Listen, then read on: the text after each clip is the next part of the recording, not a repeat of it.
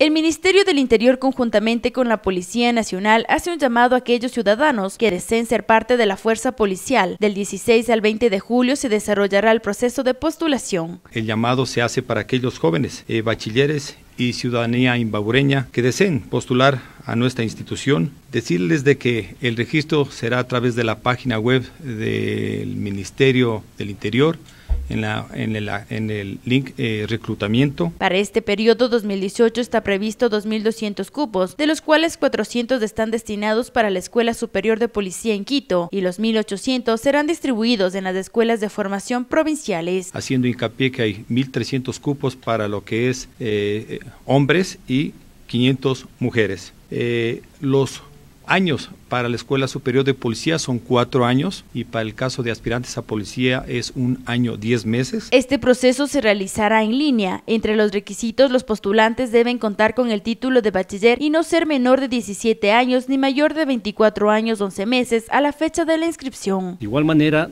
dentro de lo que es eh, la nacionalidad ecuatoriana, debe ser por nacimiento o naturalización. De igual manera, eh, ser declarado apto en los diferentes exámenes de selección, tanto lo que es académico, físicos, psicológicos, médicos y lo que es pruebas de confianza. Además deben tener un mínimo de 750 puntos en el examen N ser bachiller y la estatura mínima establecida desde este año es de 1,68 para hombres y 1,57 para mujeres. De igual manera, otro requisito para aquellos eh, ciudadanos que estén interesados consta no haber sido destituido de las Fuerzas Armadas, Policía Nacional o de alguna de las entidades de seguridad reguladas en el Código Orgánico Integral de Seguridad Ciudadana y Orden Público. Las escuelas de Imbabura realizarán una socialización general de este proceso este miércoles 11 de julio en el auditorio del Ministerio de Cultura y Patrimonio. Ahora las escuelas de formación policial tienen una educación basada en valores, es humanística, con valores y principios que se fortalecen para ser mejores personas. Con cámaras de Galo Vinuese y la cobertura de Gabriela Garcés para TVN Canal, Eliana España.